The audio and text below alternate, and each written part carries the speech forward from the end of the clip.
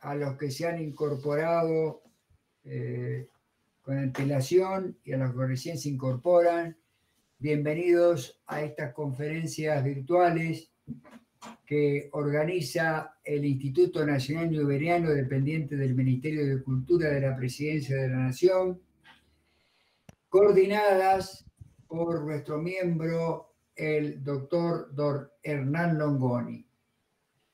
Nuestro Instituto Nacional Iberiano se siente muy feliz de contar con ustedes su presencia, de contar con ustedes como expositores eh, de esta idea nacida genuinamente por, de parte del Instituto Nacional Iberiano y que gracias a que comenzó a germinar esta idea hemos visto que por efecto espejo han empezado a replicar otras instituciones aeronáuticas con exposiciones y cosas similares. Valga esto como un acicate para nosotros, por, no solo por lo que estamos haciendo, sino también porque hemos servido como punta de lanza para lanzarnos a reencontrar la historia argentina, en este caso aeronáutica, me estoy refiriendo, en este caso sobre todo la historia aeronáutica espacial referida con nuestras Islas Malvinas, con la batalla de las Islas Malvinas.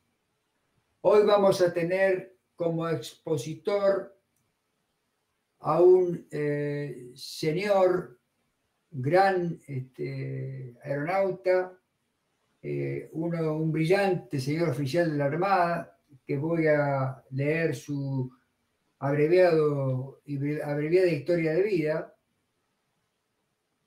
que es el señor capitán de navío, aviador naval, veterano de guerra de Malvinas, don Juan José Membrana.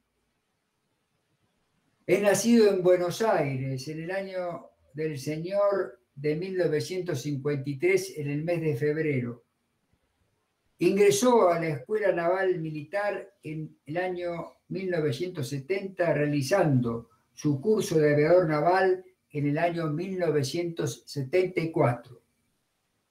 Siendo aviador naval, adquirió la capacitación de exploración y guerra antisubmarina como piloto del sistema Grumman Tracker Sierra 2 en la escuadrilla aeronaval antisubmarina entre 1975 y 1979.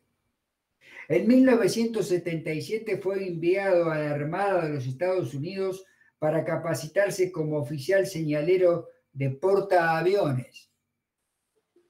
Entre 1979 y 2001 se desempeñó como oficial señalero de aterrizaje.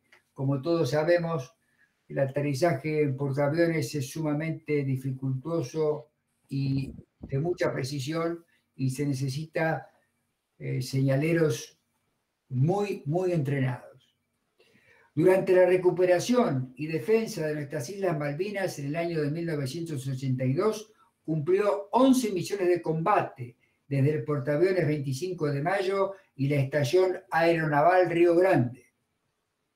En su carrera de aviador naval alcanzó 4.900 horas de vuelo y 280 enganches en portaaviones en operaciones diurnas y nocturnas. Cursó la Escuela de Guerra Naval en la Armada del Reino de España entre los años de 1993 y 1994. Es licenciado en sistemas navales y posee una maestría en administración de organizaciones. Es instructor certificado por la OASI en seguridad de la aviación e instructor en CRM y factores humanos. Realizó cursos de esa especialidad y de seguridad operacional en la Fuerza Aérea Argentina, en IATA, a instituciones del quehacer aeronáutico orientado en su fundamento a la gestión de las respuestas ante emergencias. En la actualidad, se desempeña como presidente del Instituto Aeronaval de la Armada de la República Argentina. Es miembro de número del Instituto Nacional Newberiano miembro correspondiente de las academias Jorge Chávez Darnell, Argentina, y Santos Dumont, Argentina, siendo miembro fundador de esta última que cumple 10 años de existencia el 20 de julio del corriente. Es caballero de la Orden de Legionarios de Loreto. En su intensa actividad académica se ha destacado en la historia sobre la aviación naval de la Armada de la República Argentina. Sus trabajos de investigación sobre hombres y mujeres y aeronaves han sido expuestos en foros y publicaciones de la República y en países amigos tales como España e Italia. Y he tenido el placer intelectual y personal de compartir destino con él en el honorable Congreso de la Nación por muchos años. Señor capitán, queda usted en el uso de la palabra. Muchas gracias. Buenas noches, señor presidente, comandante mayor, aviador, don Salvador Roberto Martínez, eh, estimados amigos que hoy asisten a esta charla. Desde ya, mi más sincero agradecimiento por esta presencia y este deseo de compartir eh, en, un rato las experiencias que me tocó vivir en la Guerra de Malvinas y seguramente algunas poco conocidas de las actividades que realizara la Escuadrilla Naval Antisubmarina y algunas otras unidades de la aviación naval. Y quiero empezar esta charla para ponerlos en situación.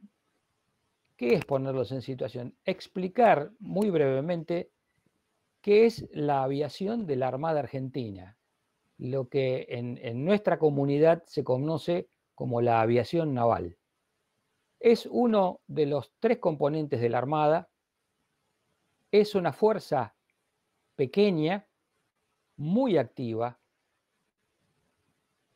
muy relevante en lo que hace a la táctica. ¿Por qué? Porque en el mar las tres, los tres ambientes se manejan de manera simultánea. El ambiente de superficie, el ambiente submarino y el ambiente aéreo. Y una fuerza en el medio del mar necesita de esas capacidades al unísono. Eh, no, podemos depender de unidades que estén alejadas de la propia fuerza en el momento de actuar. Esa es la razón fundamental por la cual la Armada hace ya 104 años que posee una aviación, como les dije, pequeña, eficaz integrada absolutamente al quehacer naval. Y para la guerra de Malvinas, esa aviación naval cumplía 66 años de existencia. Había tenido una crisis previa, que era la casi, casi conflicto con el país trasandino, que había hecho que toda esa unidad táctica de la aviación naval se preparara y estuviera en condiciones de ser activada con muy breve preaviso. Eso no quiere decir que en el momento en que empieza a gestarse la operación de Malvinas, las unidades aeronavales tuvieran conocimiento previo. La filmina que están ustedes viendo ahora es la imagen del portaaviones 25 de mayo. Esa es una imagen que está en la final de portaaviones.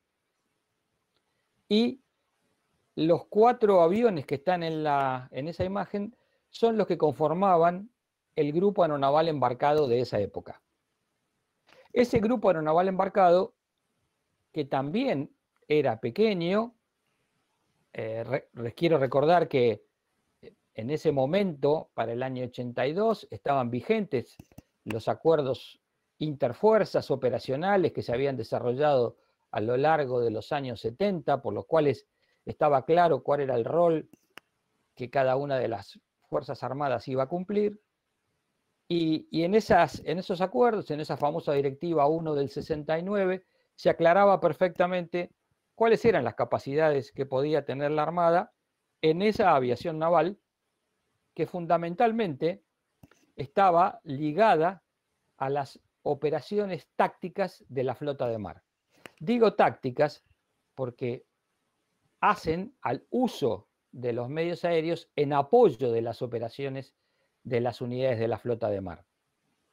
Esa flota sí puede tener un valor estratégico y estratégico operacional porque tiene esa capacidad para desplazarse en la superficie del mar y llegar hasta donde la nación le diga que tiene que llegar.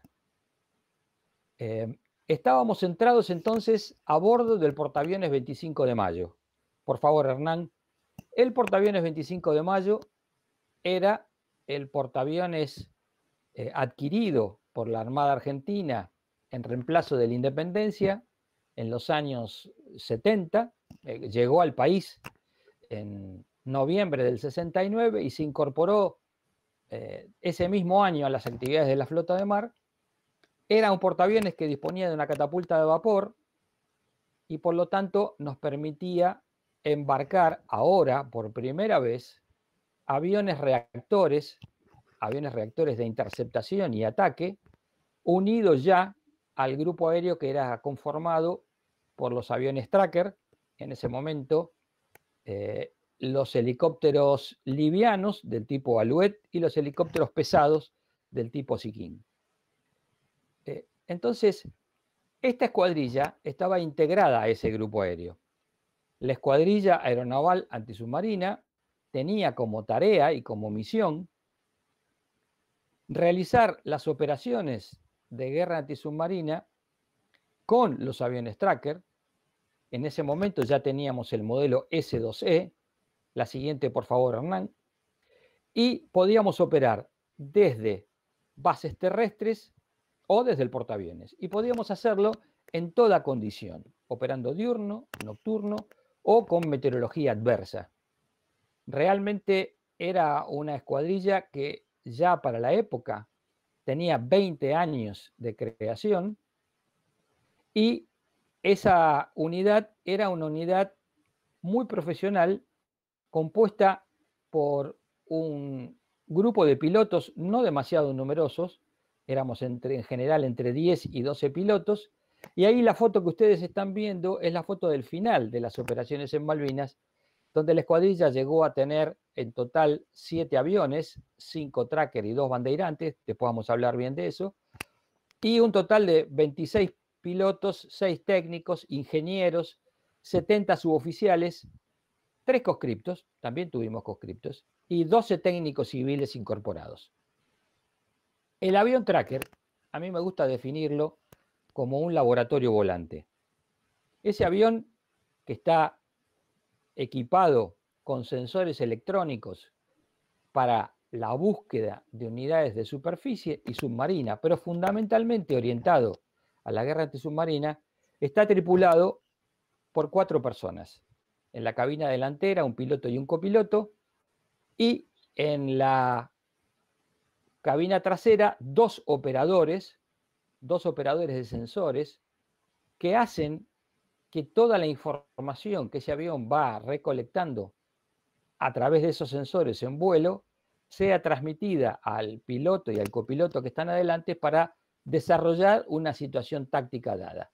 Es un avión que además de los sensores puede portar su propio armamento y como ustedes ven en la foto, atrás del avión, en la cola, por debajo de la cola, está el gancho de aterrizaje. Eh, requiere para ser operado de portaaviones, ser catapultado por esa catapulta que yo les decía, y regresar a bordo y enganchar uno de los seis cables que tiene el portaaviones. En la siguiente foto, ustedes van a ver el momento en que el avión tracker es catapultado.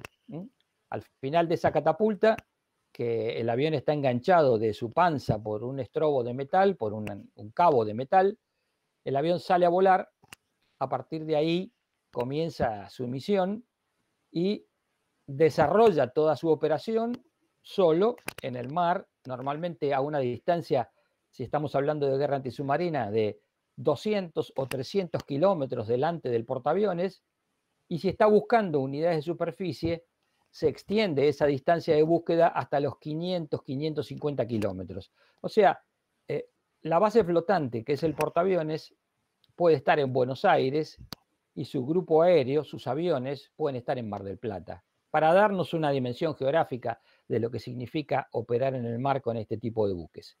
En la siguiente fotografía ustedes van a ver la final de portaaviones. Básicamente esa línea amarilla en el centro de la pista es el eje de pista que los pilotos usamos para volar alineados. Es muy importante tocar la pista en condiciones de alineación.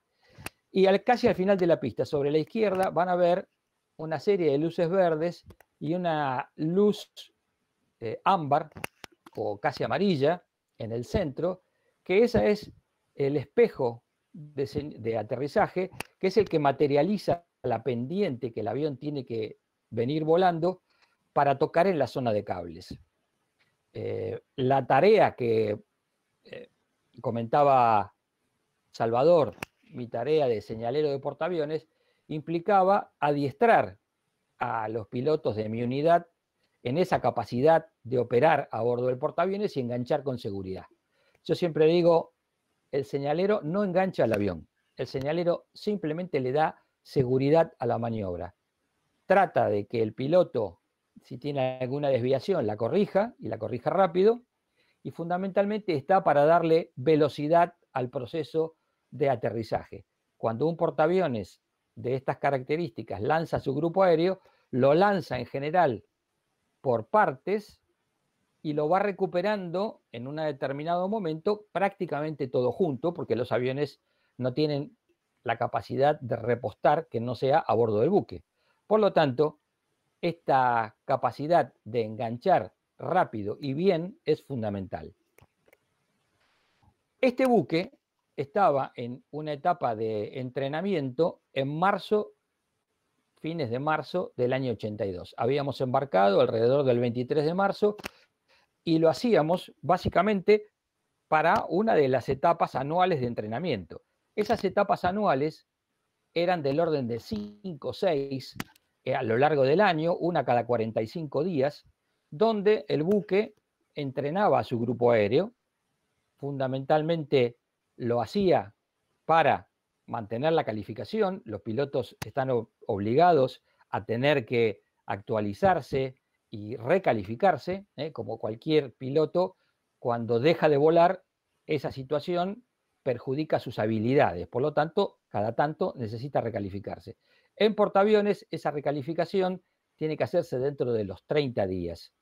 Entonces, nosotros embarcábamos cada 45 y manteníamos ese nivel de entrenamiento a lo largo del año. Eh, de pronto, ese 23 de, mayo, nos 23 eh, de marzo nos desembarcan y regresamos a tierra. Una incertidumbre importante porque no sabíamos por qué habíamos regresado, suponíamos que quizá el buque hubiera tenido alguna falla, pero con el correr de los días subsiguientes eh, fuimos teniendo que preparar equipamiento, hacer análisis de operaciones en pistas, trayectorias de vuelo, que nos hacía pensar que algo, algo más estaba ocurriendo. Mm, pensamos que quizás se estuviera desarrollando otra vez una crisis parecida a la del 78 y la flota de mar tenía que zarpar. Llega la orden de zarpar el día 28, ya habíamos terminado de embarcar todo lo necesario y el 29 zarpamos con el buque, a la mañana se incorpora el grupo aéreo y una vez que el buque estuvo fuera de, del canal de Puerto Belgrano, una vez que el buque estaba ya navegando hacia el sur eh, a una buena velocidad, estábamos haciendo, digamos, no nos quedábamos en la zona de adiestramiento normal, estábamos yendo al sur y caminando rápido. El comandante del buque, a través del sistema de difusión que el buque tiene interno, nos informó que nosotros, con el portaaviones y los escoltas, éramos la fuerza de cobertura de un grupo importante, un grupo de desembarco, una fuerza de desembarco que estaba prácticamente un día delante nuestro en la navegación y que iba a recuperar las Islas Malvinas definitivamente para la nación argentina. Bueno, sorpresa total. Había que ponerse a pensar eh, si había algún ajuste que hacer en la operación. Nuestra tarea durante toda esa navegación fue asegurarnos de no encontrarnos o, de asegurarle a la fuerza de desembarco y al grupo de portaaviones que no nos encontrábamos con ningún buque británico. Sabíamos por inteligencia que había poca probabilidad, pero sí había un buque británico dando vuelta por ahí. Y esa situación hacía que eh, tuviéramos que volar prácticamente en continuo. Por eso cuando hablo de la operación de la escuadrilla, a mí me gusta hablar de la campaña de Malvinas, porque para nosotros esta operación fue realmente una campaña que empezó el 23 de marzo y, terminó el 24 de junio, cuando volvimos a nuestra, a nuestra base de operaciones normal, Comandante Espora, en la ciudad de Bahía Blanca. Eh, éramos una unidad como todas, joven, joven en edad, el, promedio de edad de la escuadrilla eran 28, 29 años. Mi comandante, en ese momento el capitán de corbeta Héctor Escare, tenía 38 años. Y formábamos eh, un grupo muy homogéneo de pilotos, mecánicos y operadores de sensores. Éramos un verdadero equipo y trabajábamos como un verdadero equipo. No había otra manera de encarar las operaciones que no fueran esas. Eh, vamos a la siguiente. se produce el desembarco el 2 de abril. Como bien decía Salvador, en ese desembarco, que fue un desembarco con la orden de que fuera incruento, o sea, se, dieron, se dio la orden a las fuerzas argentinas que no debíamos afectar la vida de los pobladores de Malvinas, a los cuales debíamos considerar como ciudadanos argentinos, y tampoco, en lo posible, debíamos afectar la vida de las fuerzas británicas, que en una proporción pequeña, estamos hablando de no más de 80 hombres, defendían eh, esa, ese territorio. ¿Qué pasaba? Nosotros íbamos a desembarcar con una fuerza que realmente los superaba 10 a 1. Íbamos a poner en tierra una fuerza de desembarco de 800 hombres, con el ánimo de que no hubiera enfrentamiento, que los británicos se dieran cuenta que esa fuerza los iba a sobrepasar de todas maneras y que era realmente inútil la resistencia. Pero no tuvimos en cuenta, creo yo, que por su personalidad, por su historia y por su actitud hacia la guerra, los británicos jamás, jamás se rinden sin disparar un tiro. Cosa que hicieron y cosa que le costó la vida al capitán Giachino y le costó heridas a varios hombres que estaban con él, del grupo que definitivamente tomó la casa del gobernador, que era donde todo ese pequeño grupo británico se había atrincherado para defenderse. Al día siguiente, 3 de abril, se produce la recuperación con otro pequeño grupo, con la corbeta Guerrico y el buque polar Bahía Paraíso, se produce la recuperación de las Islas Georgias.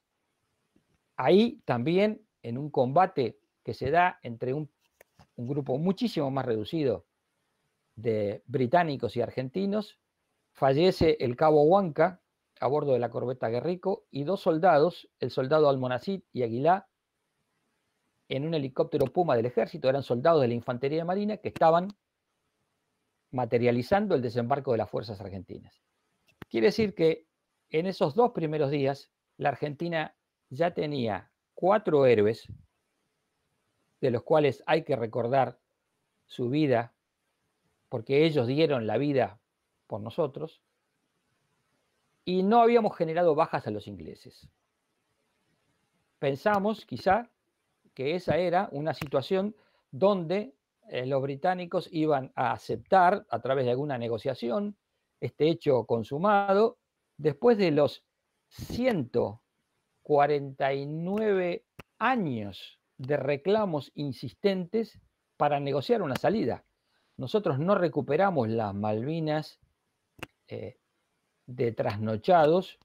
Eh, no voy a hablar de la decisión política, si era el momento o no era el momento, pero sí habíamos reclamado insistentemente en todos los foros posibles y en toda la comunidad internacional que el Reino Unido de la Gran Bretaña e Irlanda del Norte la corona británica tenía que sentarse con los gobiernos argentinos a negociar una salida de esto que había empezado por una invasión británica a las Islas Malvinas en 1833.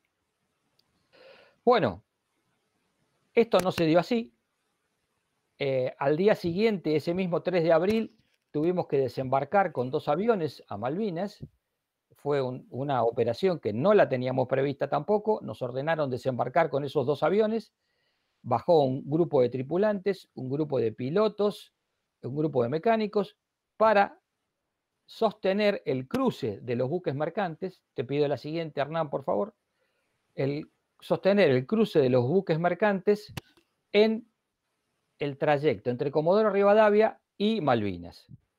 Esa situación que tenía que darse a principios de abril era la que forzaba la necesidad de disponer en Malvinas de algún medio de exploración que asegurara que esos buques no iban a ser interceptados, ni por aviones, ni por eh, buques de superficie, ni por submarinos. Los ingleses, en el mientras tanto, mientras nosotros estábamos desembarcando y haciendo ese control de los accesos a Malvinas, habían hecho zarpar a su fuerza. Van a ver ustedes un par de fotografías del tracker en Malvinas, acompañado por los aviones de la Fuerza Aérea que ya estaban operando en esa pista, eh, vamos a la siguiente, Hernán, por favor. Esa es el, avión tracker en la pista de Malvinas y en la siguiente vamos a ver el lugar de estacionamiento. La pista de Malvinas, una pista muy corta para ese momento, y los, aviones estaban estacionados hacia el fondo de la pista o hacia afuera, eh, si, si se podía por peso. Los trackers son unos aviones pesados que no admiten ser colocados sobre la turba de Malvinas porque se terminarían hundiendo. Entonces estaban estacionados en la pista. Esta es una foto donde ven el tracker en un día maravilloso en Malvinas, un día como pocas veces se vio. Eh, yo diría que es uno de los pocos días diáfanos que se ve en Malvinas. Se aprecia la geografía de, todas las elevaciones circundantes y básicamente ahí está una parte de los mecánicos haciendo el alistamiento para salir a volar. Ese grupo de mecánicos que está en la fotografía que sigue estaba al mando del segundo comandante de la escuadrilla, el capitán de corbeta Julio Covarrubias, y las tripulantes y los mecánicos eran ese grupo tan homogéneo que ustedes ven ahí, que bajaron con lo opuesto. Nadie, nos, como yo les comenté, nadie nos avisó que teníamos que bajar inmediato. Así que esa gente bajó a Malvinas con lo que tenía en ese momento. Ahora bien, nosotros empezamos a tomar conocimiento el día 5 de abril que realmente lo que alguien habrá imaginado que era una operación coordinada para retomar la soberanía sobre Malvinas con algún tipo de negociación en marcha con los ingleses, nos dimos cuenta que no era así. Eh, se vio en todos los noticieros que los ingleses iniciaban un movimiento de fuerzas navales como nunca lo habían hecho desde la Segunda Guerra Mundial para recorrer los prácticamente 8.000 millas que hay entre el Reino Unido de la Gran Bretaña y Irlanda del Norte y las Islas Malvinas, su, posición, su posesión eh, en el Atlántico Sur, que les daba el control sobre el acceso al estrecho de Magallanes y el acceso al Cabo de Hornos. Esa es un poco la razón fundamental del por qué Gran Bretaña ocupa desde 1833 las Islas Malvinas porque son la llave del paso interoceánico entre el Atlántico y el Pacífico. Esa fuerza naval, compuesta por prácticamente 40 buques en el inicio, zarpa de Inglaterra y comienza a navegar hacia las Islas Malvinas. Ustedes ahí tienen parte de las unidades escolta y con las unidades escolta zarpan dos portaaviones. El Invencible, que está en esta foto, y el Hermes. Cada uno con el máximo de capacidad de aeronaves a bordo. O sea, los buques estaban pensados para operar con una determinada capacidad. Esa capacidad la aumentaron todo lo que pudieron. Y esto que ustedes ven acá, que es la cubierta del portaaviones Hermes, tiene nuestra principal amenaza durante toda la guerra, el avión Sea Harrier. Un avión que realmente para nosotros era un cazador formidable. ¿Por qué digo esto? El avión Sea Harrier volaba sus patrullas a entre 800, 900 kilómetros por hora, podía interceptarnos, tenía dos cañones de 30 milímetros, disponía de misiles Sidewinder. ¿Y qué tenía el tracker para defenderse? Absolutamente nada. El tracker es un avión desarmado. Es un avión para la búsqueda, vuelvo a insistir, inicialmente pensado para la búsqueda de submarinos. Nosotros íbamos a tener que desarrollar una actividad que si bien en el marco regional era una cosa razonable, el buscar unidades de superficie, en una fuerza como la británica, protegida por portaaviones, con destructores de defensa aérea y aviones y Harrier, realmente era una misión de altísimo riesgo, porque nuestro avión volaba solamente a un tercio, perdón, a un sexto de la velocidad de un Sea Harrier. Nuestro, los Sea Harrier volaban a casi 900 kilómetros por hora y nosotros con suerte llegábamos a los 200, 220, 230. O sea que era una diferencia de velocidades abismales, nos convertía prácticamente en un blanco estacionario, aunque nosotros quisiéramos movernos rápido. Por lo tanto, nuestra táctica durante toda la guerra fue la evasión. Fuimos expertos en evadir las patrullas aéreas de combate británico y la detección de los radares británicos. Eh, mientras esto pasaba, eh, se veía que la plataforma de Puerto Argentino cada vez se llenaba de más pertrechos, más aviones, más personal.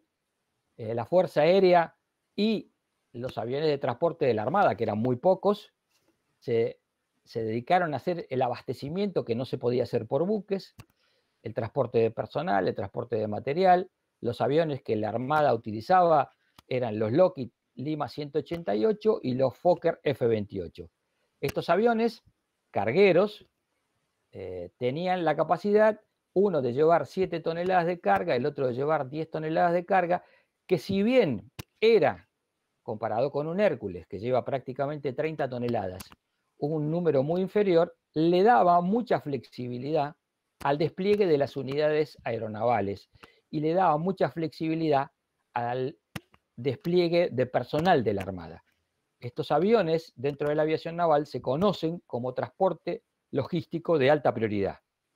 Entonces, eh, vamos a la siguiente. Ahí van a ver ustedes un, F-28 con, estacionado en Malvinas con su tripulación.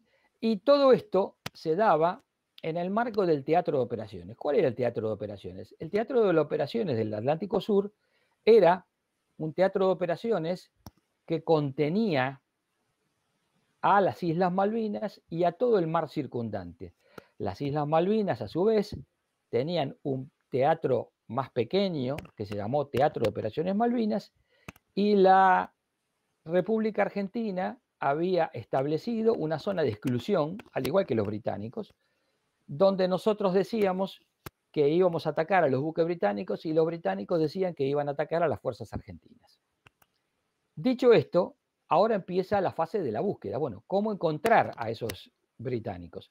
Lo primero que se hizo fue hacer misiones con los Boeing 707 de la Fuerza Aérea en, lo que se llamó reconocimiento lejano, donde las tripulaciones estaban compuestas por también observadores de la Armada que tenían conocimiento de cómo eran las unidades de superficie británicas, que tenían conocimiento de las tácticas que podían desarrollar y podían asesorar a, esas valientes tripulaciones de la Fuerza Aérea que simplemente con un radar meteorológico fueron a tratar de encontrar a las fuerzas británicas en un análisis cinemático, sabiendo qué día habían zarpado, con qué velocidad más o menos aproximaban, y los fuimos a buscar prácticamente frente al Brasil. Ahí es donde esos aviones de la Fuerza Aérea por primera vez tomaron contacto con las unidades británicas. Algunos aviones de aerolíneas argentinas que cruzaban en esos vuelos logísticos para traer armamento de varios lugares, también dieron aviso de eh, observaciones que tenían ellos de superficie con buena meteorología, de qué es lo que se apreciaba como una fuerza moviéndose en el mar. Bueno, en la foto siguiente van a ver ustedes el momento del enganche de un tracker, así, esa es la zona de los cables, bien cerca de donde termina el barco, eh, ahí está el avión enganchando, el señor que está arriba y a la derecha es el señalero de portaaviones, que es quien cuida, como ya les dije, que la aproximación sea rápida y segura. El tracker, para hacer esa misión de exploración o de búsqueda de submarinos o unidades de superficie, cuenta con sensores no acústicos y sensores acústicos. Los sensores no acústicos son los que ustedes tienen en la pantalla. Un radar, un equipo MAE, medidas de apoyo electrónico que permite detectar radares, y un equipo MAT, un equipo de anomalía magnética que permite detectar un submarino sumergido. Entonces, atrás del piloto vuela un suboficial, un operador de sensores que conoce y es capaz de operar estos tres equipos.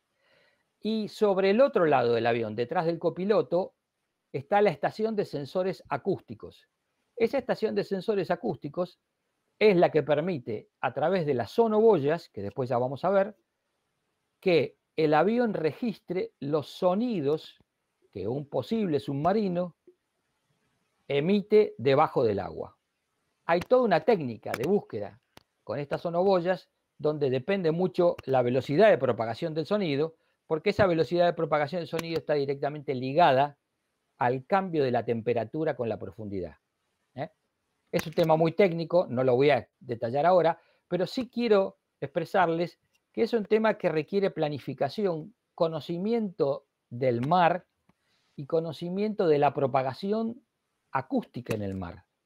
O sea, eh, no es imposible, pero requiere mucho entrenamiento. Ahora, ¿qué pasaba?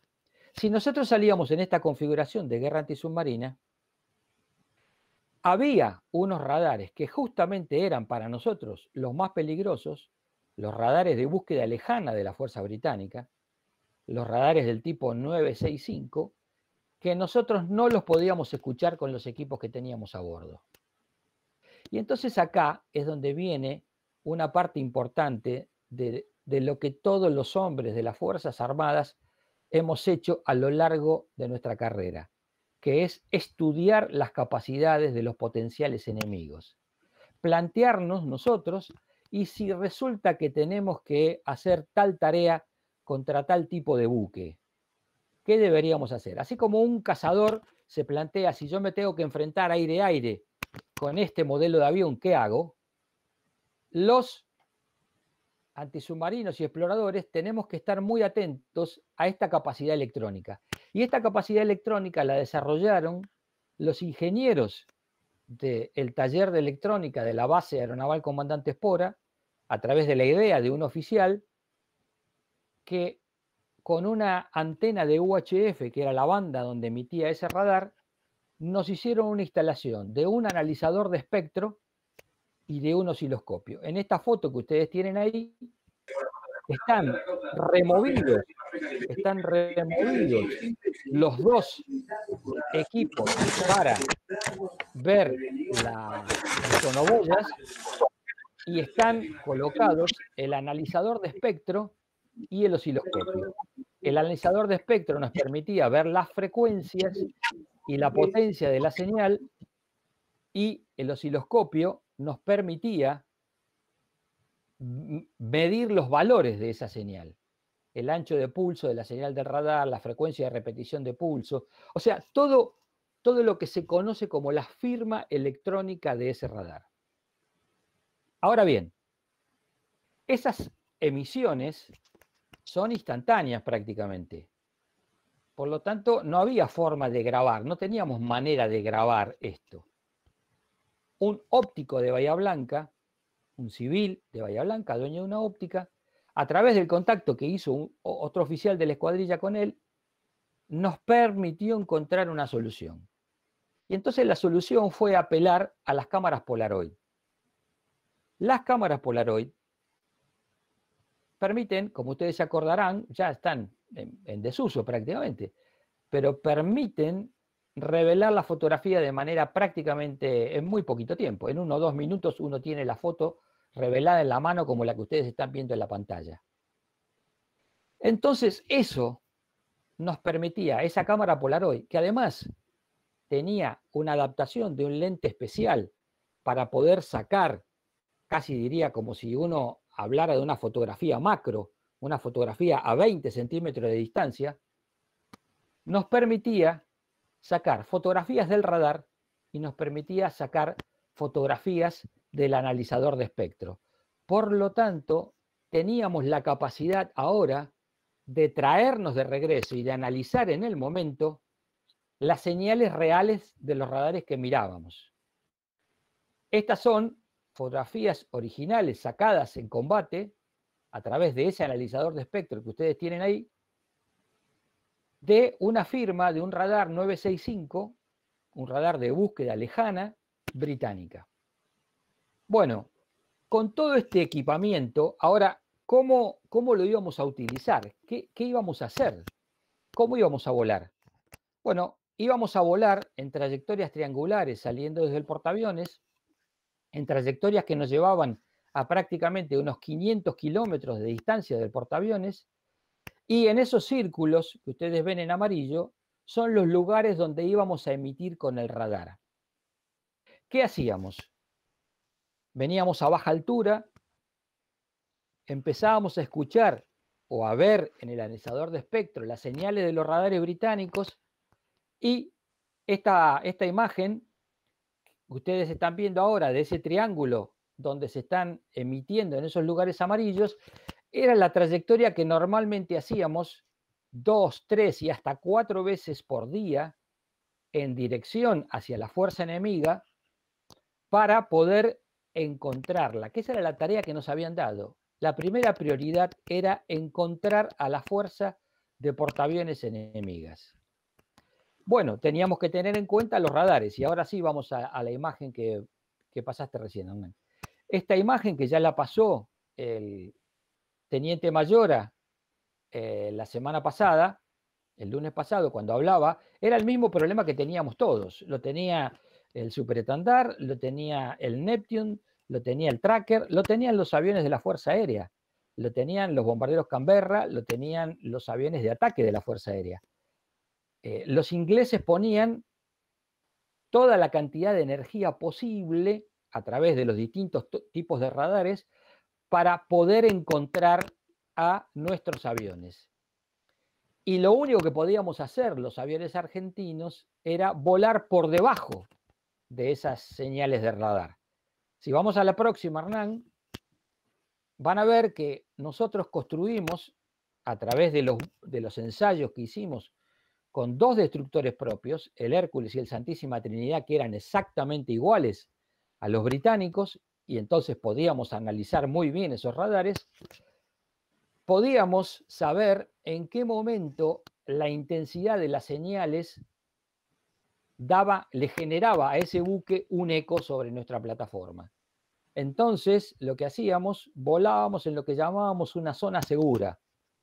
Una zona segura que estaba dada siempre en base a una altura y a una distancia al blanco. Esa zona segura nos permitía empezar a escuchar los radares ingleses a unos 200 kilómetros de distancia y llegar hasta prácticamente los kilómetros de distancia de los buques británicos sin que los buques británicos nos vieran. ¿eh? Pegados al agua, y nosotros poder subir rápidamente, emitir con nuestro radar, sacar una posición exacta. ¿Por qué? Porque eso había que transmitirlo al portaaviones para poder hacer o poder materializar un ataque de los aviones A4, que eran solamente en ese momento ocho a bordo del portaaviones. Era todo el grupo de ataque que la Armada tenía embarcado. Ocho aviones por todo concepto Esos ocho aviones iban a tener que llegar a una posición que el tracker les dijera, y nosotros lo que sí habíamos practicado mucho a raíz de este conflicto que habíamos tenido con Chile, o esta crisis, habíamos practicado mucho cómo guiar a esos aviones. ¿eh? Los aviones tenían que llegar prácticamente a pasar por, por, sobre el tracker y en ese momento este, este tracker le daba a esa división de aviones a cuatro, que podían ser cuatro o seis, les daba el rumbo, la distancia y el tiempo al blanco. ¿Qué quiere decir esto? Que para un avión de ataque que se mueve a 450 nudos o 420, esas 50, 60 millas de distancia le implicaban un recorrido de 7 minutos. Eso es lo que tenían que navegar hasta el blanco. Pero necesitaban un rumbo, y ese rumbo y ese tiempo se lo tenía que calcular el avión explorador, que tenía que quedarse en proximidades de la Fuerza Británica, que no se podía ir muy lejos, sí podía bajar a la mínima altura, a la mínima altura que pudiera volar. Uno siempre dice, en tiempo de paz hay alturas de seguridad. En tiempo de guerra la altura de seguridad no existe. Es la altura a la cual el piloto se siente cómodo para volar y evadir. Pueden ser 20 metros, pueden ser 30 metros, pueden ser 10 metros. ¿eh? Que es lo que hicieron todos los aviones argentinos cuando tuvieron que materializar un ataque. Entrar rasante, ¿eh? lo más pegado al agua posible, y eso lo hicimos prácticamente todos, todos en distintos momentos. Entonces, eh, ¿qué pasaba en esos siete minutos? Siete minutos para un buque es muy poca distancia. Un buque se mueve en siete minutos se moverá a velocidad de combate del orden de quizás, quizás mil metros, mil quinientos metros. O sea que los aviones van a llegar y lo van a ver. Eso es lo fundamental del ataque en mar abierto, donde uno no tiene ninguna referencia.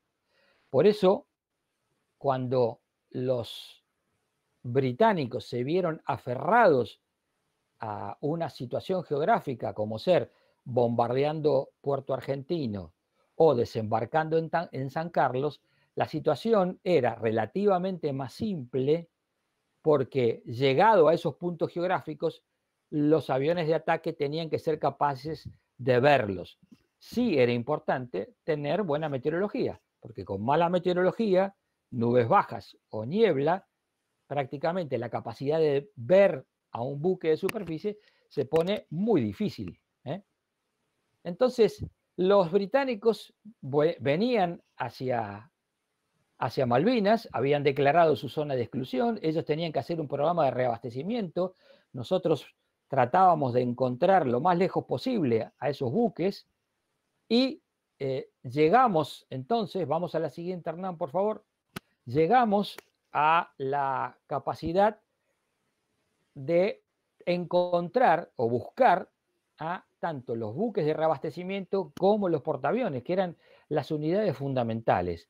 Si los ingleses se quedaban sin reabastecimiento en el mar o se quedaban sin portaaviones, la operación de desembarco fracasaba.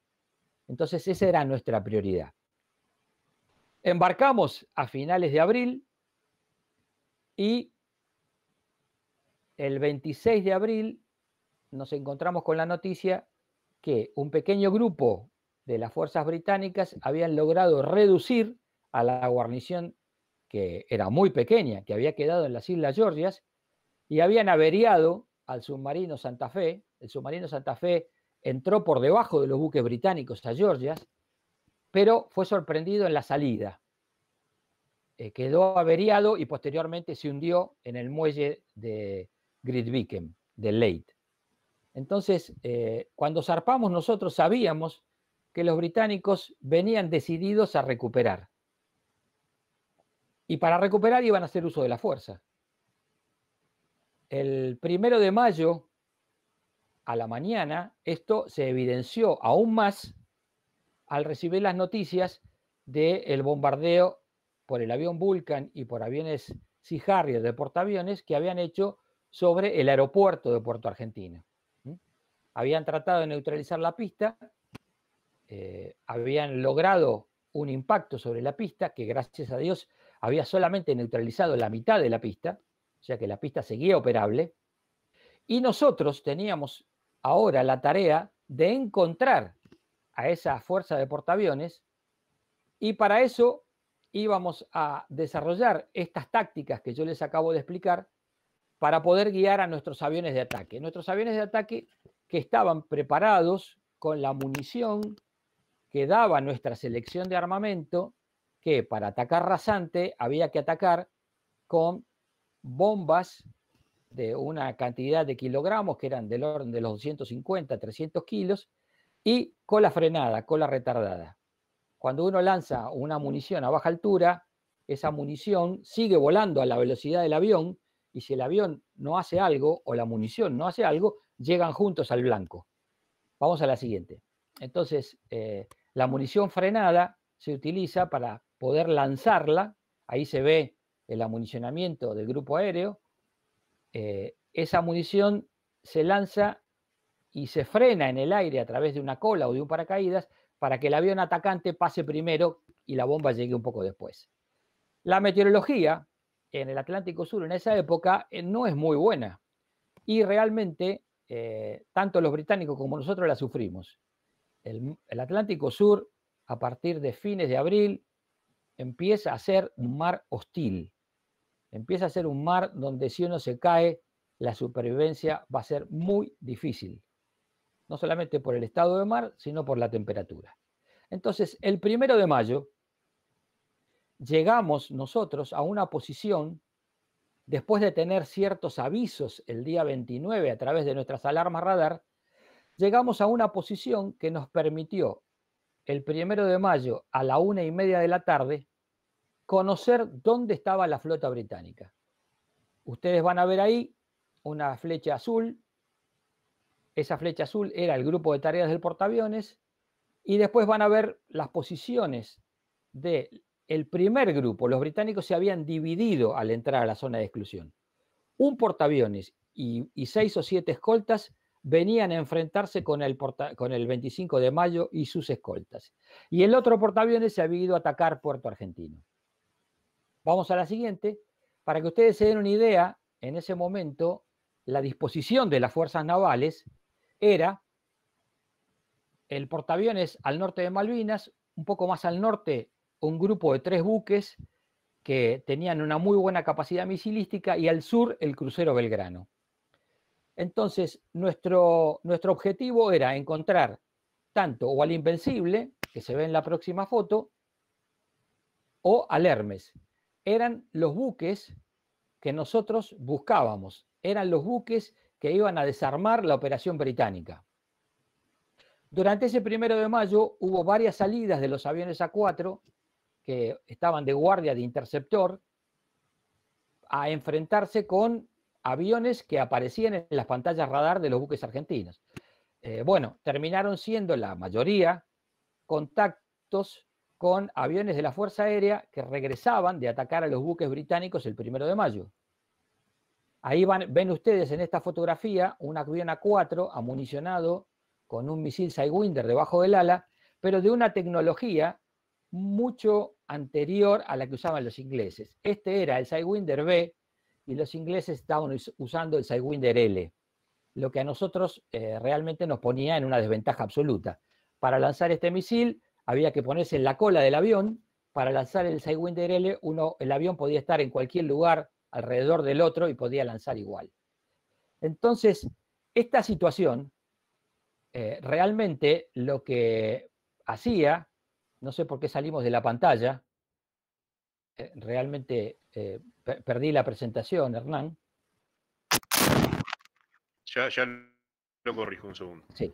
Entonces, em, esos días lo que estuvimos haciendo fue durante todo el día primero a partir del mediodía, continuar con la búsqueda de la flota británica, continuar en la noche del primero, en la noche del primero al 2, donde un tracker estuvo a tan solo 30 kilómetros de la flota británica, los británicos no nos podían interceptar de noche con los Sea Harrier, esa era una ventaja, podíamos evadir mejor la persecución Eh, ahí van a ver ustedes en la siguiente un avión tracker enganchando. Y cuando, eh, cuando los aviones regresaban a bordo, básicamente un nuevo tracker salía. En el próximo mapa van a ver ustedes las exploraciones de, ese día, de ese día primero, primero a la tarde, primero a la noche, dos a la madrugada. Ahora, ¿qué ocurre el 2 a la madrugada? El 2 a la madrugada, los británicos lanzan un Sea Harrier en altura, en una operación de riesgo para ellos, tratando de ver en la dirección que había regresado el tracker, aunque el tracker había hecho maniobras evasivas, a ver si encontraba la Fuerza Argentina, porque los británicos no sabían dónde estaba exactamente el portaaviones argentino. Bueno, ese avión llega a, encontrar a la Fuerza Argentina. Básicamente, ¿qué sucede después? El almirante Woodward decide recuperar ese grupo de portaaviones. O sea, él no iba a permitir el enfrentamiento de un grupo de portaaviones sobre el otro, junta los dos grupos de portaaviones y en el medio de los dos grupos de portaaviones que ya se estaban reuniendo al norte de Malvinas, pone a dos de los tres submarinos nucleares que tenía. Los submarinos nucleares eran al norte, o sea, próximos a donde estaba el portaaviones argentino, el Spartan y el Splendid, y al sur estaba el Conqueror, el famoso Conqueror que se hizo famoso básicamente por hundir al crucero General Belgrano. Entonces, eh, este es el submarino Conqueror. ¿Qué pasó el 2 a la madrugada? El presidente Belaúnde Terry, de Perú, hace una oferta de paz a los embajadores británicos y argentinos en Lima. Esa oferta de paz se transmite a los gobiernos.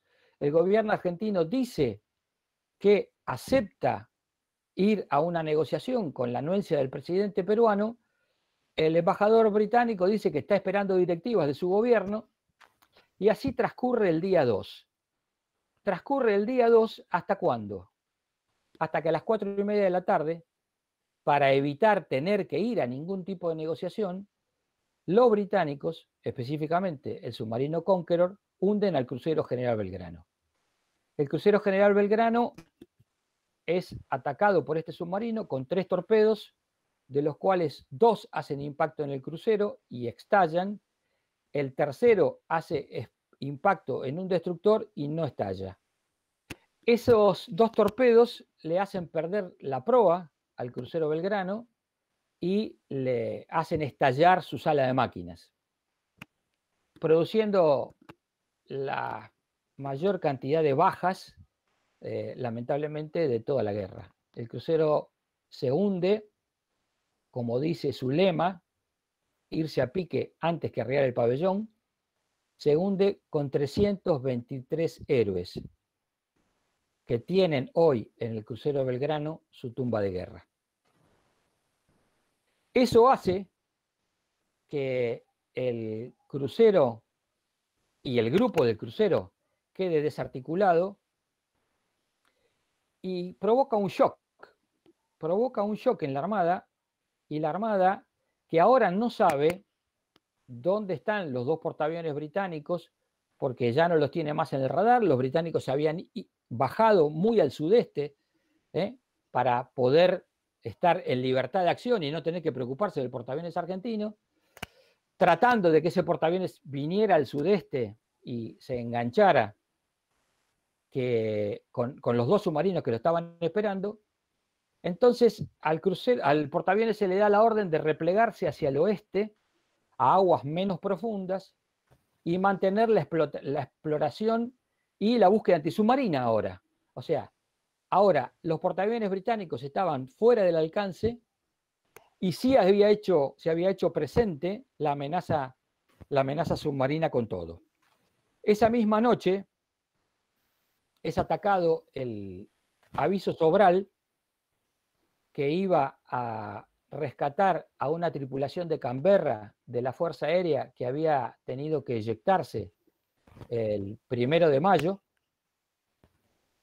Y el, en la noche del primero de mayo, el Sobral es atacado por misiles británicos lanzados desde el helicóptero y queda prácticamente al garete, su comandante fallecido en combate con otros cinco tripulantes más.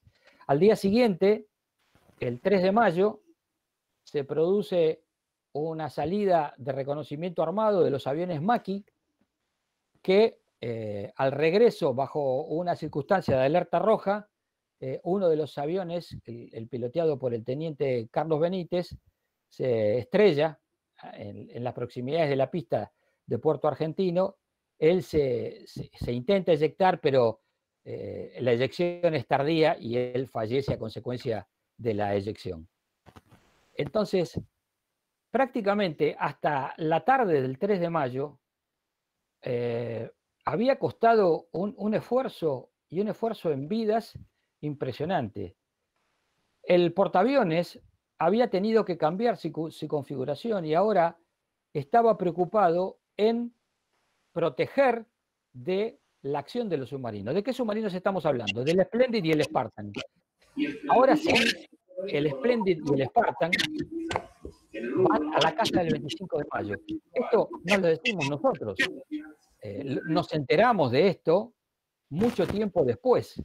Nos enteramos de esto prácticamente cuando los ingleses abrieron los informes de combate de los submarinos británicos hace cuatro años atrás, cuando, perdón, hace cinco años atrás, cuando se cumplieron los 33 años de la guerra, eh, se abrieron esos informes y pudimos nosotros saber dónde estaban esos submarinos. Y lo que nos encontramos es que los submarinos también estaban preocupados por el apoyo aéreo antisubmarino del portaaviones, que fue la diferencia fundamental con el crucero Belgrano.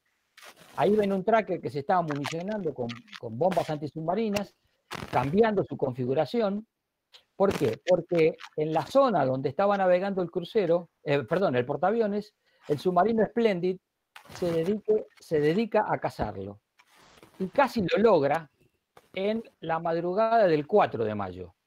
Digo, casi lo logra porque llegó a estar a unos 30 kilómetros del portaaviones, llegó a estar muy cerca y producto de las trayectorias que se fueron haciendo con los aviones tracker y los helicópteros Sea el, comandante del submarino lo pone él en su libro de bitácora, va a esperar una mejor oportunidad porque considera que en aguas poco profundas él se expone demasiado y va a esperar a, tener una nueva oportunidad para encontrarse con el portaaviones.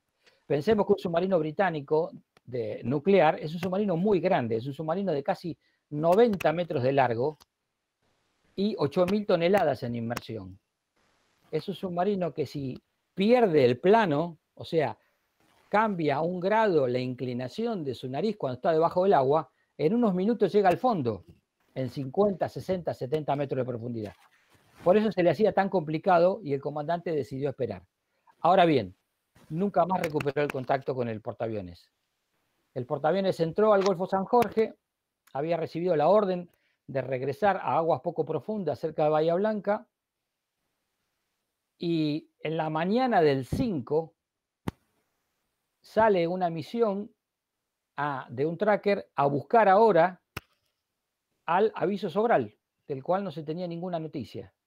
Y en esa salida, esas son las sonoboyas. Esto es lo que yo les comentaba, esta imagen es la de las sonoboyas, que es lo que uno siembra para escuchar el submarino. Y en la siguiente vamos a ver en rojo la trayectoria del submarino Splendid, las sonoboyas son los puntos verdes, y en azul, azul oscuro, la trayectoria del portaaviones.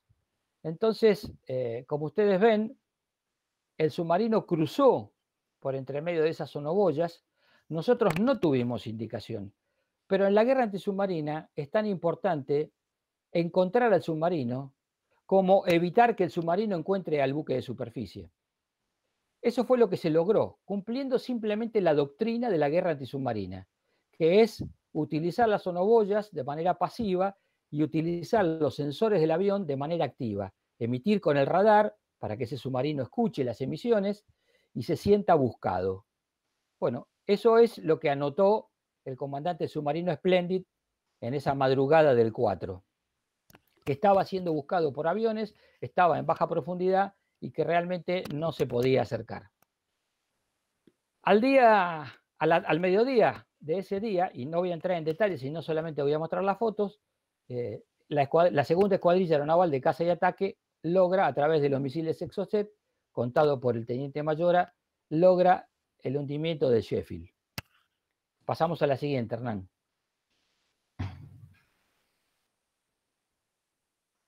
Este es el Sheffield incendiándose.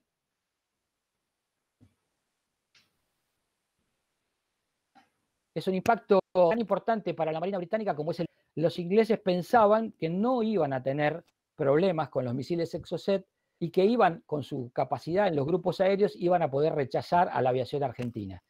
Y realmente se equivocaron. Los misiles Exocet estuvieron activos y la aviación argentina, eh, cubriéndose de gloria, toda, la de exploración, la de ataque, los helicópteros, los de transportes, la aviación argentina, toda le dio a la Marina inglesa una lección de heroísmo y valentía que aún hoy, 38 años después, se recuerda en los libros de historia, por lo menos en los británicos.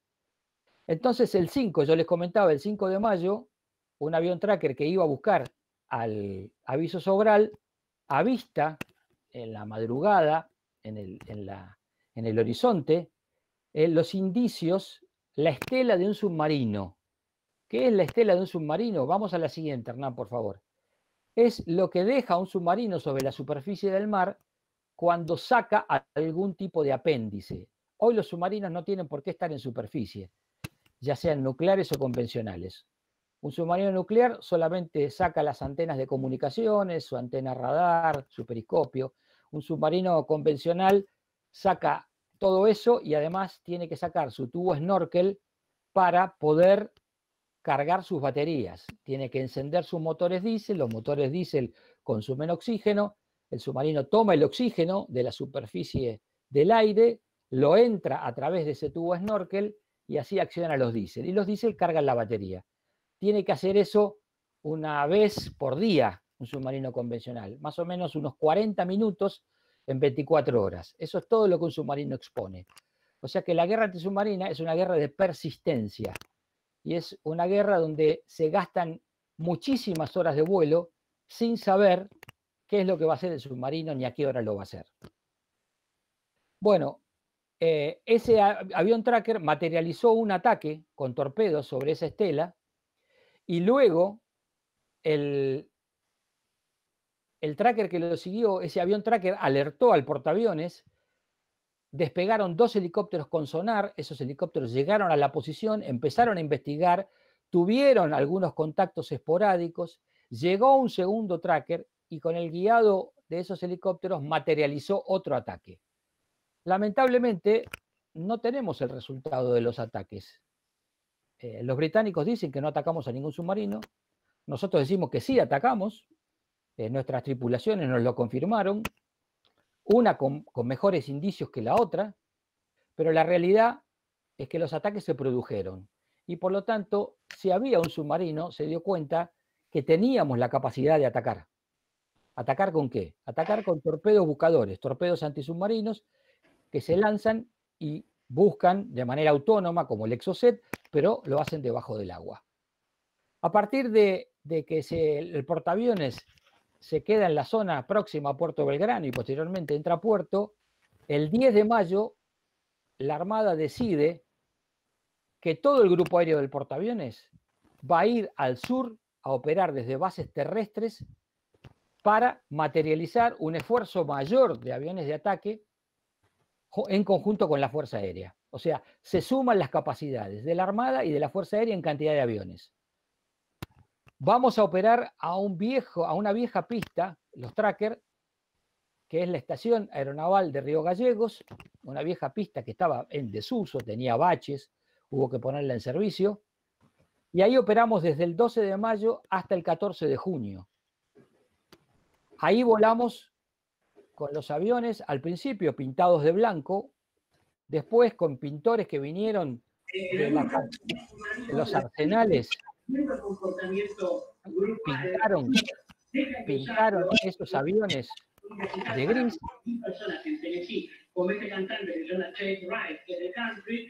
Estoy escuchando otra transmisión. Ahí está, gracias. Entonces, eh, los aviones fueron pintados de gris oscuro.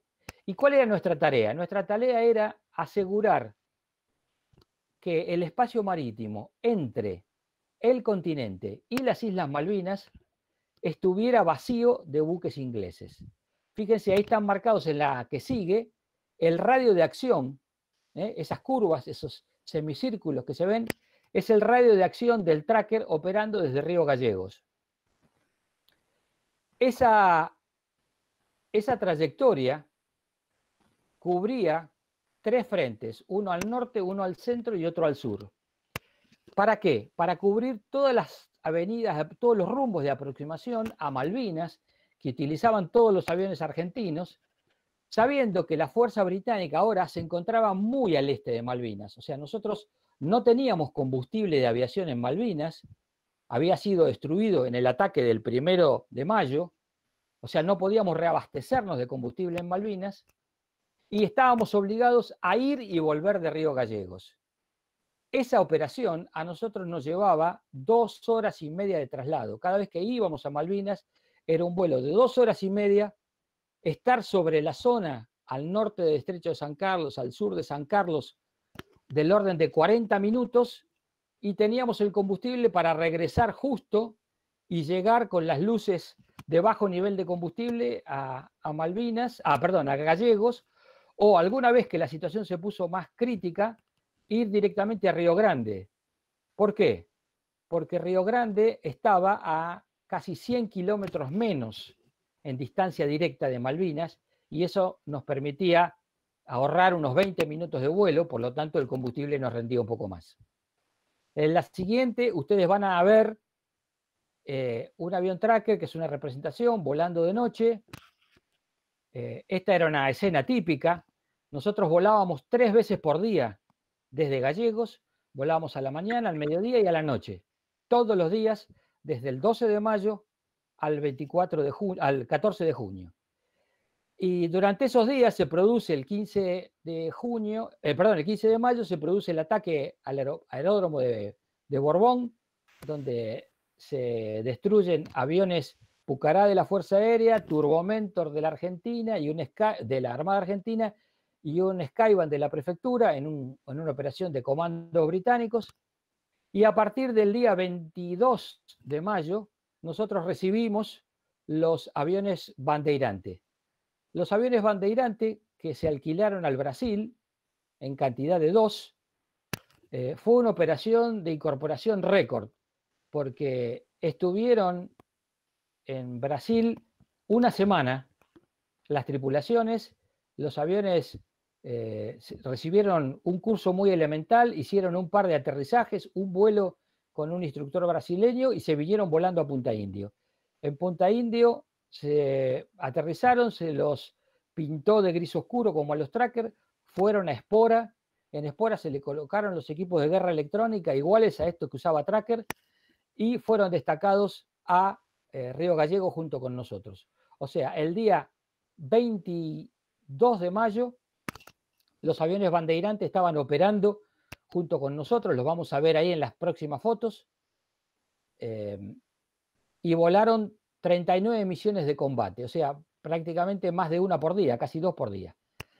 Bueno, el 21 de mayo se produce el desembarco británico, desembarco de, que es alertado también por un maqui de la Armada, volado por el teniente Owen Cripa, que llega a San Carlos a través de una información del teniente Esteban del ejército, que estaba con una compañía eh, haciendo, perdón, con una sección, estaban haciendo la vigilancia de ese lugar, y el teniente Cripa hace el, croquis y avisa de, la operación de desembarco británica eh, en una maniobra de un heroísmo absoluto, porque entra a San Carlos, ataca una fragata británica, sale de San Carlos y después regresa para contar cuántos buques había en el lugar.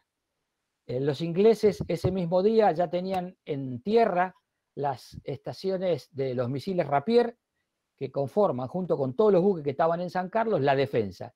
Y ahí empieza la etapa de las operaciones anfibias británicas, propiamente dicha, donde a partir del día 21 esa cabecera de playa de San Carlos es sometida a la presión de los aviones de ataque de la Fuerza Aérea y de la Armada, que eh, atacan innumerable cantidad de buques, los, los más eh, conocidos por parte de la aviación naval son la fragata Ardent y la fragata Antelope el día 21 y 22, y después el día 23 el destructor Antrim y otra, otra fragata británica. Eh, producto de estos ataques, pierde la vida el teniente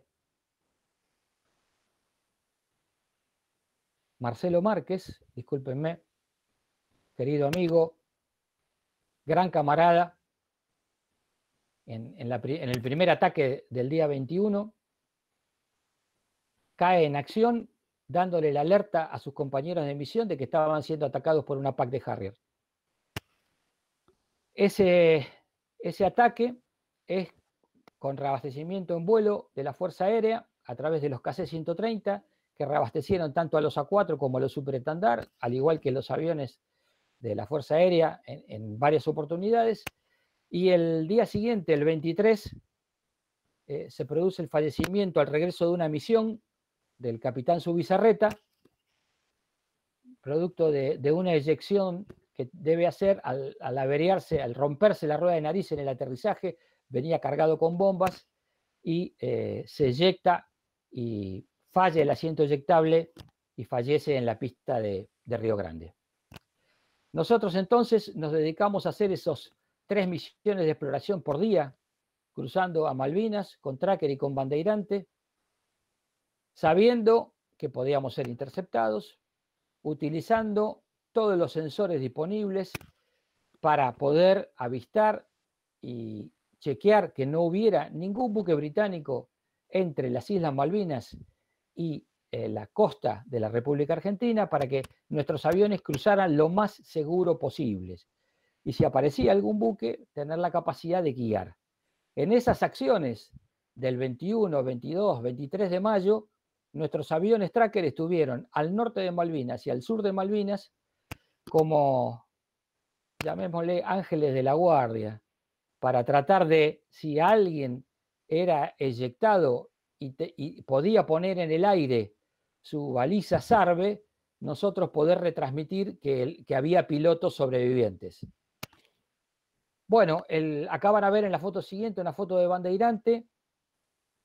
En la foto siguiente van a ver una foto del bandeirante y del tracker operando desde la pista de Río Gallego, aterrizaba uno y salía el otro.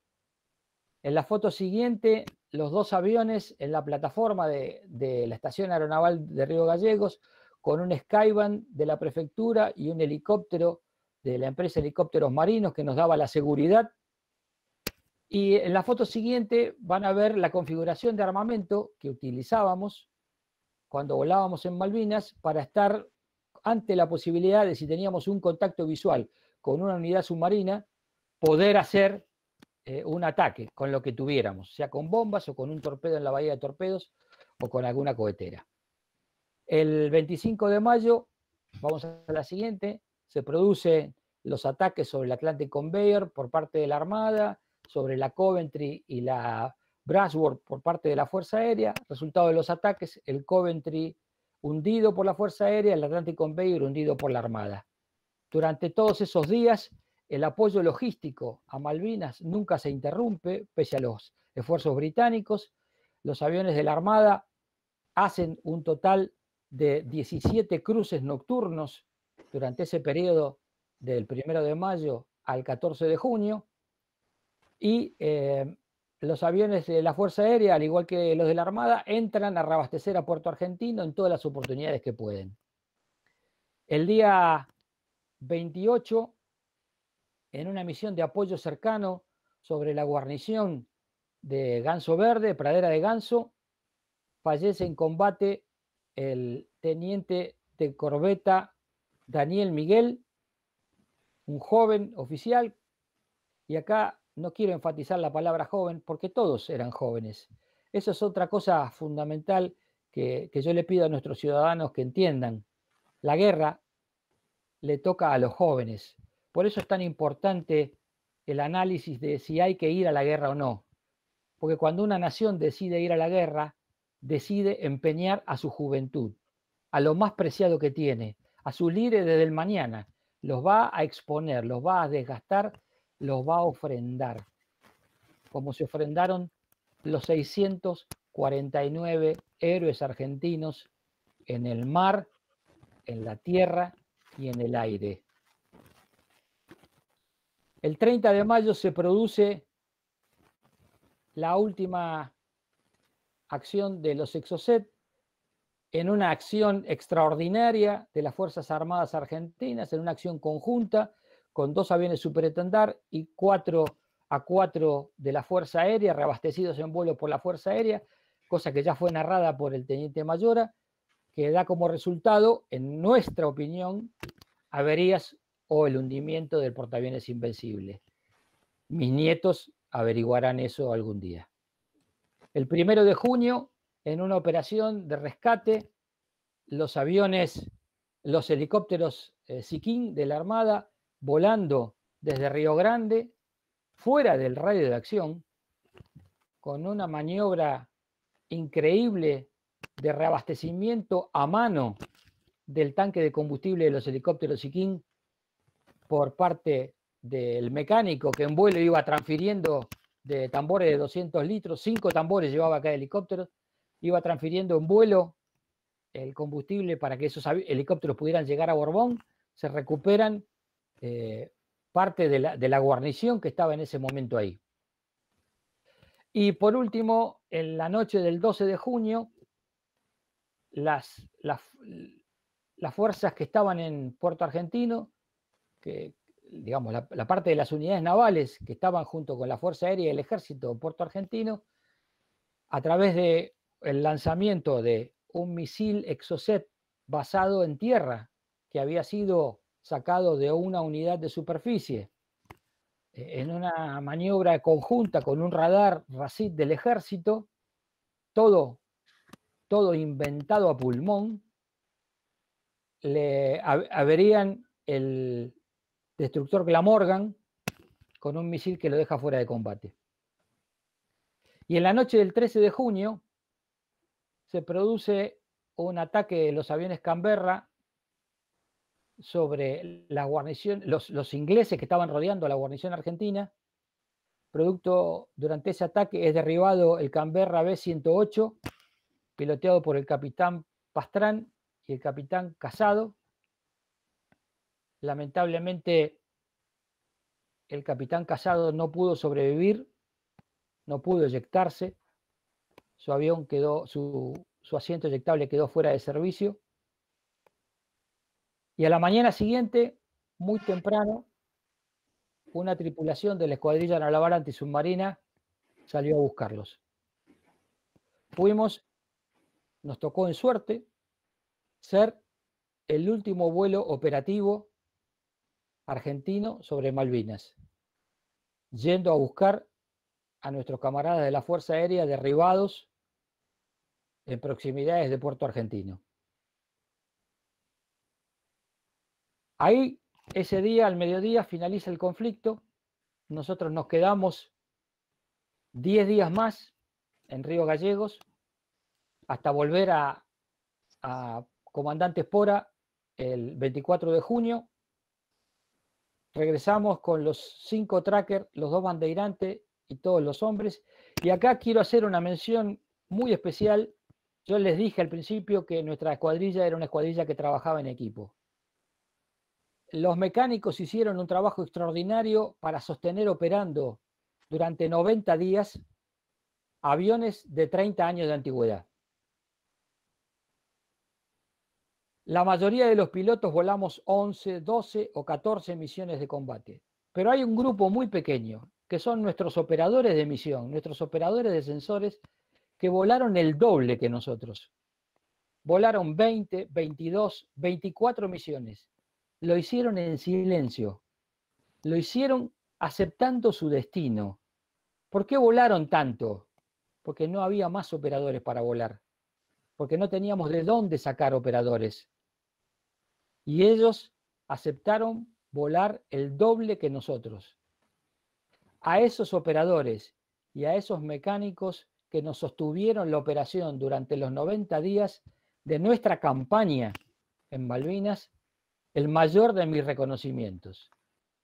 La escuadrilla naval antisubmarina voló en 90 días lo que normalmente volaba en un año. Voló 900 horas. 900 horas de vuelo prácticamente sin fallas. Vamos a la, la siguiente, Hernán, por favor. Y recibió como unidad la distinción honor al valor en combate, que la luce gallardamente su, su pabellón de combate, por ejecutar en forma destacada sucesivas misiones de exploración, proveyendo importante información bajo condiciones meteorológicas adversas y excediendo sus límites operativos normales. Lo único que sí quiero reconocer ahora es a, los caídos. Ya hablé en general de los 649, pero ahora quiero nombrar uno por uno a los caídos de la aviación naval de la Armada Argentina muertos en combate. Capitán de corbeta Carlos María Subizarreta, teniente de fragata Marcelo Gustavo Márquez, teniente de fragata Carlos Alberto Benítez, teniente de corbeta Daniel Enrique Miguel, suboficial mayor Ramón Barrios, suboficial segundo Roberto Lobo, cabo principal Pedro Vendramín, cabo primero Sergio Iseli, cabo primero Claudio Grimoldi. A ustedes el honor y la gloria, junto con los 55 valientes de la Fuerza Aérea, los hombres del ejército argentino, los hombres de la Infantería de Marina Argentina, los hombres de la Gendarmería Nacional Argentina, los hombres de la Marina Mercante Argentina. 649 centinelas, 649 nombres y apellidos que todos los ciudadanos de este país algún día deberíamos recordar. Esos son nuestros héroes del siglo XX, como tantos otros argentinos que dieron la vida por la patria. El resto, todos los que fuimos a Malvinas, tenemos el honor de haber cumplido con nuestro juramento. Muchas gracias. Los invito a abrir sus micrófonos, señoras y señores, para darle una...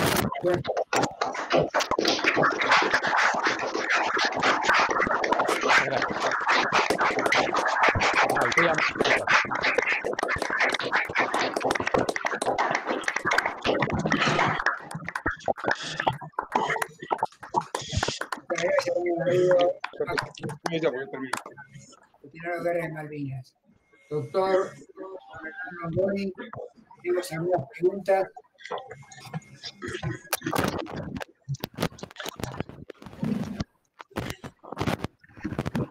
Un segundo que, que reviso la, la conversación. técnico.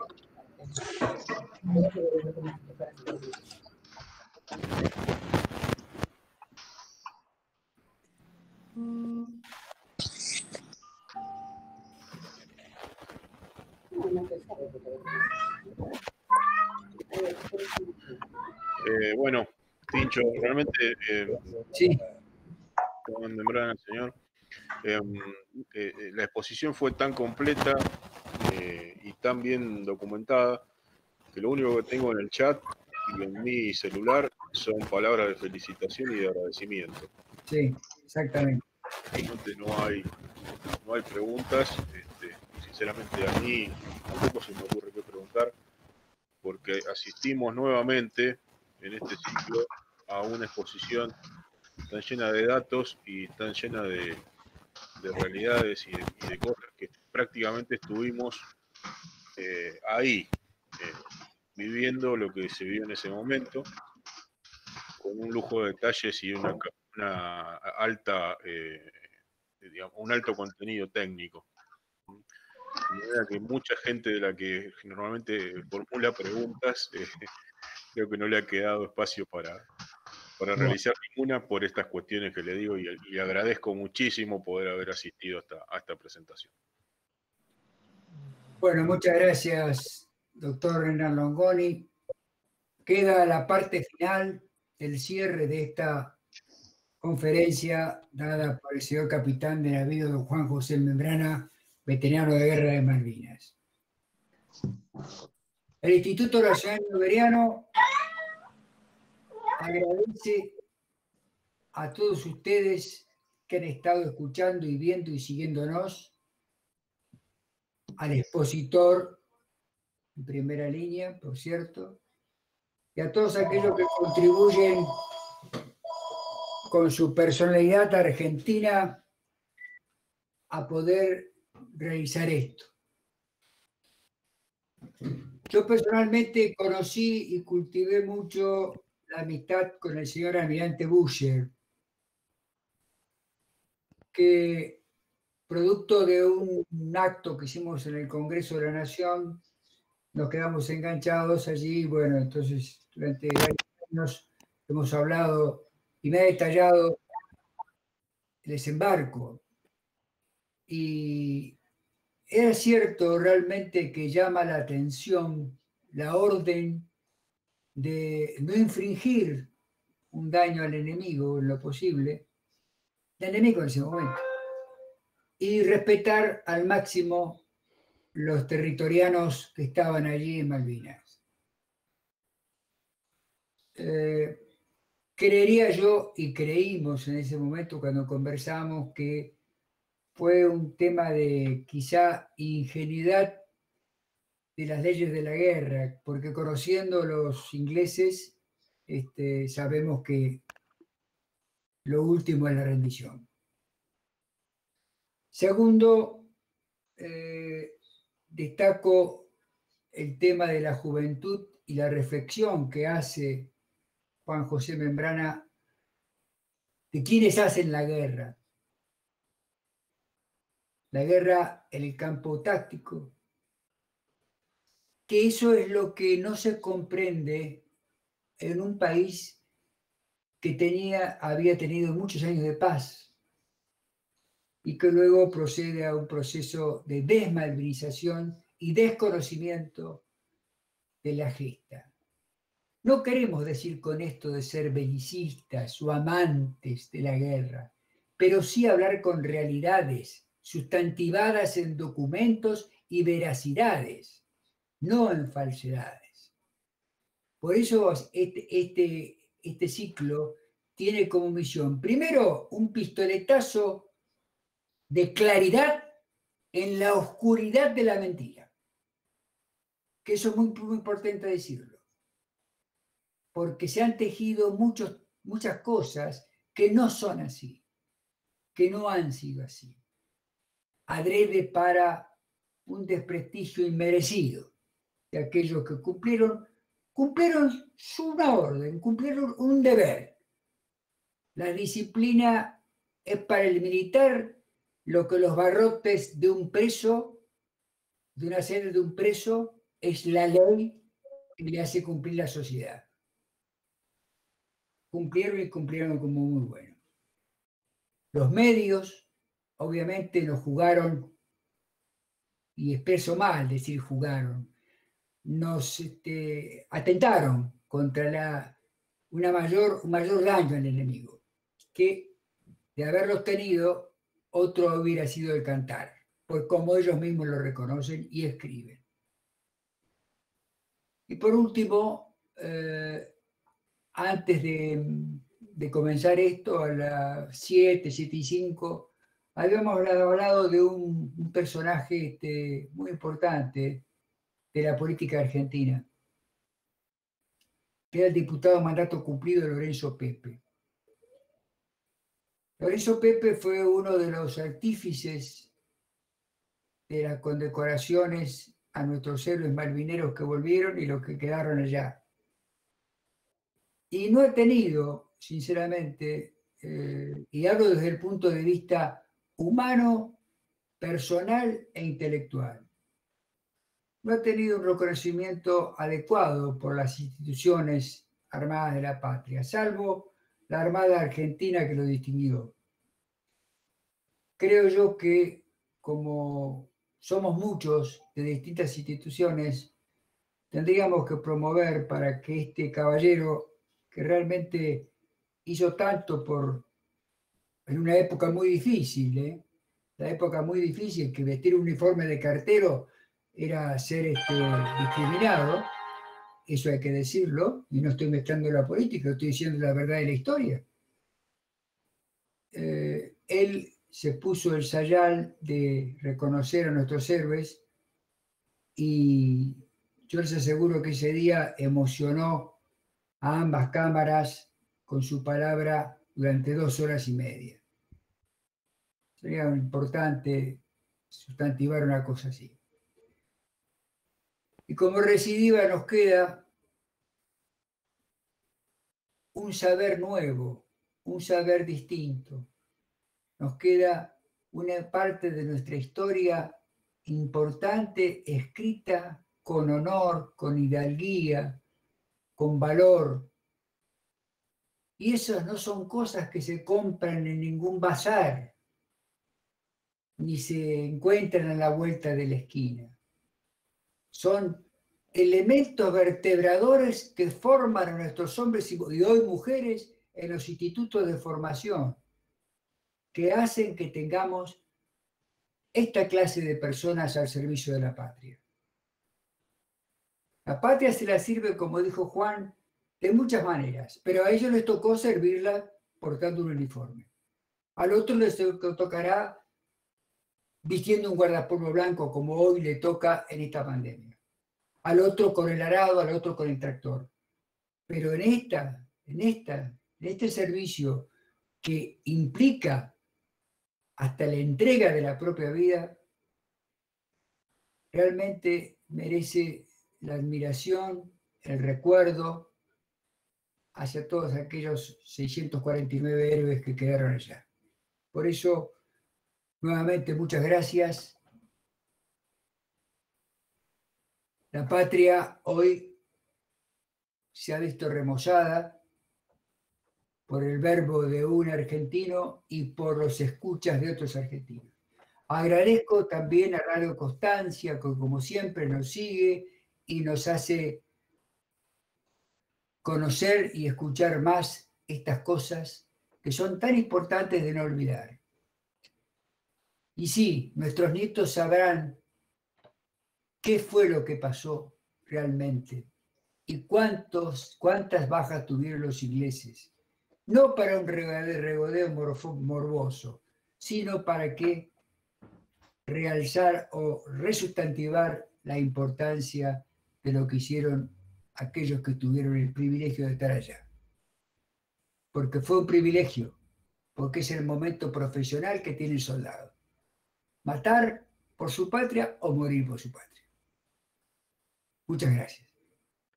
Muchas gracias a todos. Muy buenas noches. Gracias.